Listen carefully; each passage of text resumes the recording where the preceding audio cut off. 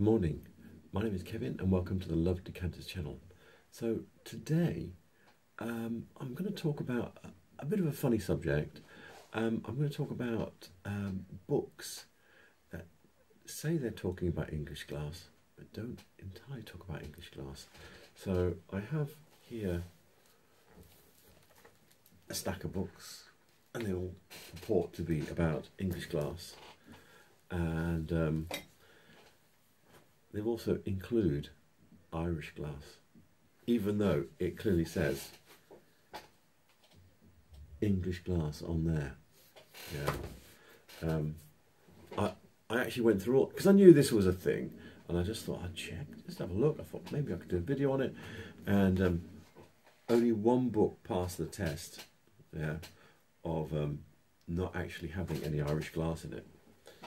So I'd like to talk show you what's in these books, and there's varying degrees of. Um, I think some of it fails through not knowing, uh, uh, but um, most of them blatantly go. I think one of them's even got a chapter on Irish glass, so it's kind of like, yeah, don't you say English on the front? So, yeah, it's quite interesting. Um, I think I should talk about why that might be. So, um, sorry about that. I, I think the UK, England was probably making about 10 times as much glass as um, Ireland when it was at its peak. And, and what happened was there was, um, it's all caused by tax, of course. Um, in 1745, the British government put a tax on glass, table glass, and windows as well. And um, but we'll talk about the table glass bit. So, but in 1780, it rescinded the tax in Ireland to encourage um, enterprise in Ireland. So there was no, there were, I think they were making glass bottles and things like that, but there was no fine um, glass being made in Ireland. I don't think before that that time. And um, yeah, so as soon as that, that tax came off, uh, a bunch of people up hooves and went over to Ireland and said, We're going to set up shop here, even if we have to import the sand and the materials and the workers to, to do it because the tax was quite high. I don't know, it changed over the periods and the way it was done was changed, um, but I know by 1845 it was like 300%. So, by weight.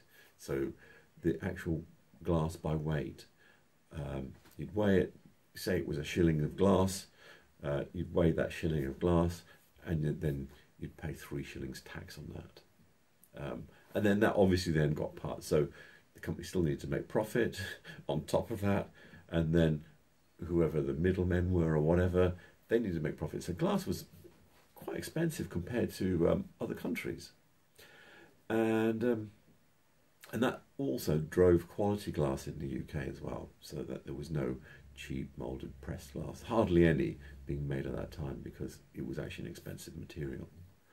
So, anyway, then what happened was after that, um, I think it was about 1821, um, they decided, oh, uh, we're getting hammered a bit for this, uh, we'll put that tax back on and um, yeah, the Irish glass houses went into decline, and Waterford was the last one. I think they they shut in 1851.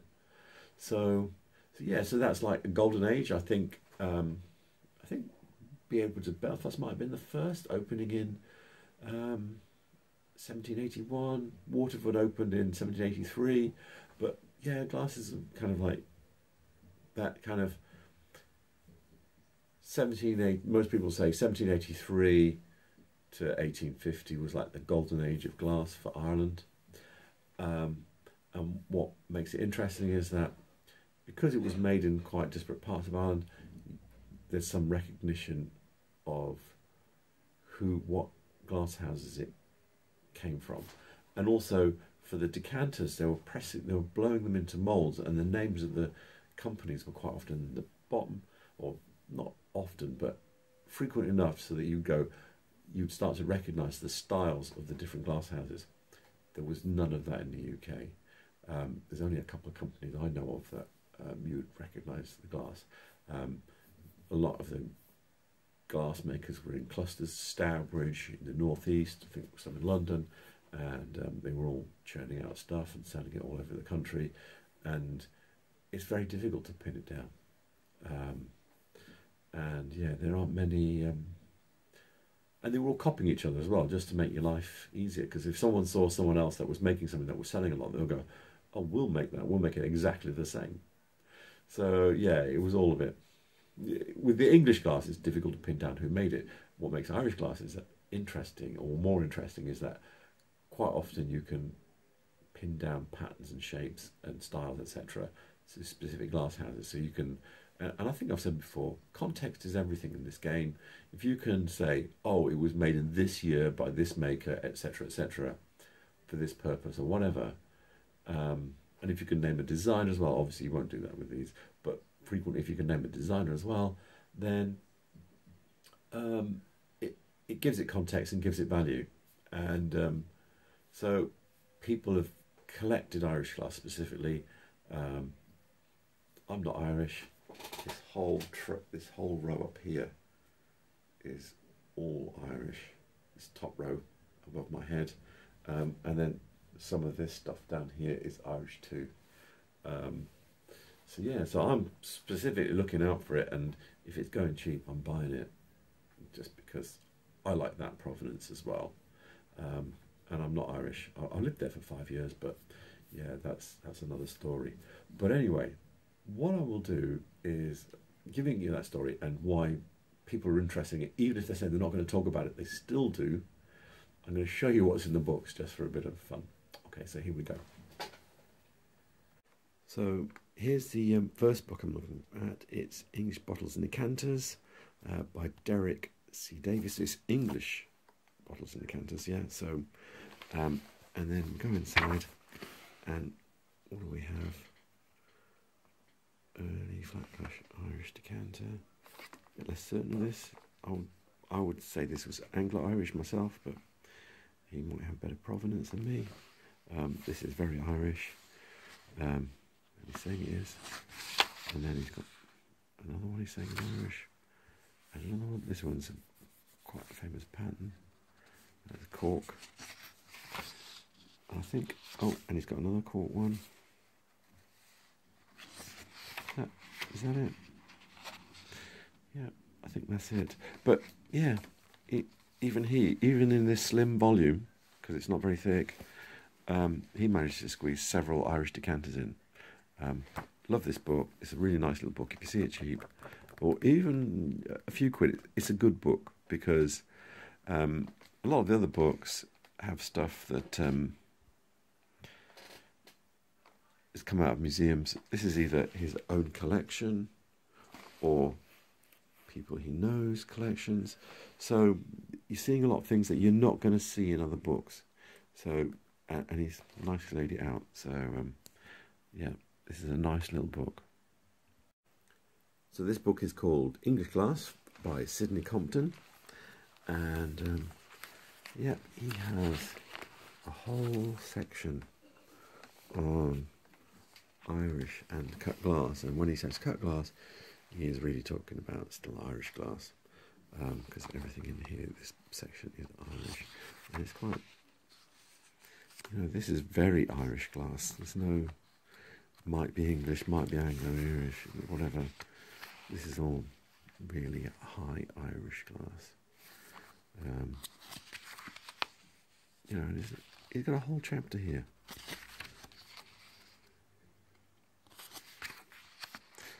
Even he talks about it being cut, but these ones are completely uncut, and I don't even think the stoppers are ground in they're that uncut. The, the stoppers, these are just designed to sit in the top, um, and they're not ground in quite often. Yeah, and no cutting at all. So, yeah, um, these are nice. That's nice. Anyway, you get the idea. Um, plenty of Irish glass in this English book. So this book is called Early English Glass by um, Daisy Wilmer. Um, this is one of my earliest glass books, and yeah, she can't help herself. Um, she even tells you it's Waterford. There's not masses in here. There's a couple of bits. I think there's another bit on the other page. Um, yeah, there's another one.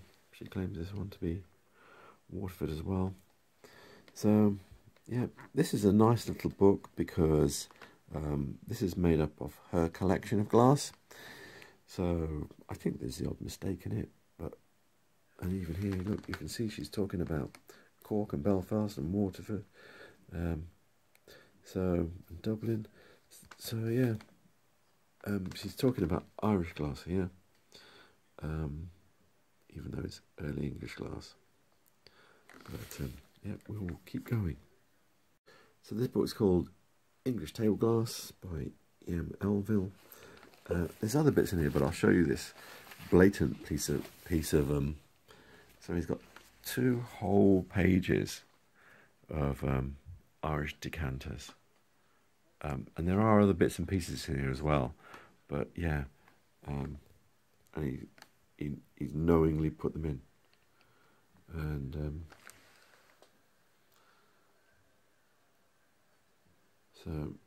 all good for me because you know it's my interest, but it is funny that they would um, put these, and these are from someone's collection as well, from um, Dudley Westropp's collection, and um, I've shown you his book before. It's a very good book. So this book is called English Glass for the Collector, 1660 to 1860, by G.B. Hughes. And um, yeah, so this one is a bit of a failure in that um, he's not spotting that some things are Irish. This is the most blatantly Irish piece of glass in here, which is a turnover bowl with this. Can you see the way that the lip is cut? That is so Irish. And the moulded bobbin um, stem foot there, or leg. Yeah, it's um, so Irish, but he doesn't actually state it is. He just says it's a stemmed fruit bowl. Um, and there's a couple of other bits, but I won't bother with those. But he, I think this is a bit of a failure on his part. This book is not a bad book in other ways, but um, yeah, he does have a few uh, misses. So this one is English Table Glass by Percy Bate. He is my enemy. Okay, in this book he tells you decanters are boring. There are only three decanters that I can find in here. Here's one. Um, yeah, and the other two that he's got in here are broken. But this one is clearly not English. Um, yeah, the tops, it should have a pouring lip on the top there. I think this might be, proportionally it looks like it. there's no room for a third ring there really. Um, I think the top would go out and, and come out and be the pouring lip because the necks, these are quite spaced. Um, so I think this is a B. Edwards, a Belfast decanter. Um, yeah, and the other one is destroyed. And that might actually be Irish because of the um, inscription that's on it. But yeah, it's, um, yeah, my enemy, this man. Two broken decanters out of three decanters in the book. So, um, yeah, so this is um, the one that, that passed the test, the no Irish test. Um, used in England, so he's very clear about it in England. Um, this is not a bad book. This is pretty good. Um, it, obviously, it's well out of print. I'm not sure what date it is, but yeah, it's got. Let me show you one of my what for me is a standout piece in here. If you're trying to ID what you're doing, he's actually this is all the types of different foot. Nice little drawings, and then all the kinds of knobs. and he's reasonably thorough, I think. Um, you probably have to search quite a few other books to find something he's missed. So, so yeah, it's got some nice bits. There's another similar um, one for old wine wine uh, bottles as well, showing you the shapes and the ages and doing drawings as a cutouts as well. So, yeah, this is a good book and um, it's got some nice illustrations. It's got some what is modern glass, but this is an older book. I can't remember what the year is, but yeah. So yeah, this is a good book. The old books have merit in themselves. Yeah, I am po- pointing out a rather epic fail in all in most of those old books, and um, it, it is what it, it it was a thing. Irish glass is still collectible today. I think um, more so than the old English glass. Um, the Irish do like their own glass. I think better than we like our own old glass. So um, yeah, that's the thing, and it and it retains its value better. So finding old bits of Irish glass, I get quite excited when I find a nice old piece um, as a bargain. That's me. Any any piece of glass is a bargain as, as far as I'm concerned. Um, but anyway, um, yeah, and I'll I'll always endorse if you see old books, um, glass books going for a pound, two pounds, whatever you know, anywhere, just going for a few quid, buy them, just to have a look, see what they've got, see if they've got something you haven't seen before. And um, yeah, with that said, I will put uh, the names of all the books in the description. And um, yeah, please remember to like and subscribe and, and have a wonderful um, celebration for the rest of Christmas. Yeah, my voice is still, but um, yeah, that's what it is. Anyway, I'm going to get on now. Thank you. Bye.